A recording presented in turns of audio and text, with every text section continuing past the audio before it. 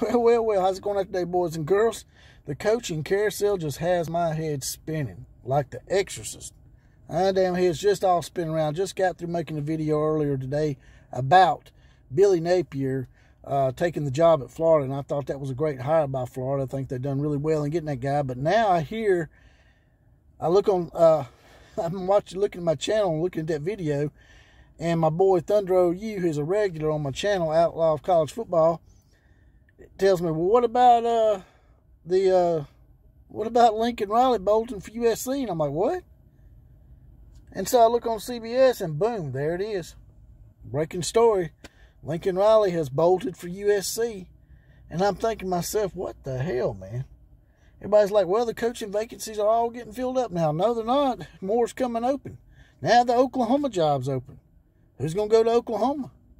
Is it going to be um, Lane Kiffin? I heard he re-upped at Ole Miss. Is it going to be Bill O'Brien, the offensive coordinator at Alabama? Will Bob Stoops come back? Will that be the job, the one, only job that could get him to come back out of retirement? I don't know. But my question is, why would Lincoln Riley leave Oklahoma to go to USC? To me, that's a lateral move, and there's a lot of disadvantages right now to coaching on the left coast because of all their political drama and bullshit that's going on out there. So I'm like, why in the hell would he leave? Was he unhappy the whole time?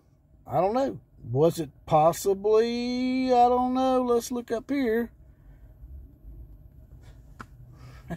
Was that a little too much for Lincoln Riley? Was that a little too much for Lincoln Riley to put up with the transition to the SEC?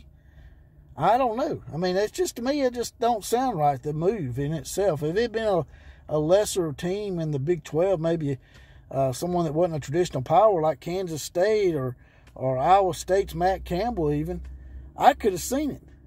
But to go from Oklahoma to USC, I don't know. You guys and gals tell me. Y'all tell me, especially all you Oklahoma fans. Thunder told me. Thunder was right. Thunder struck. Old Thunder OU, I give a huge shout out to him for alerting me to this.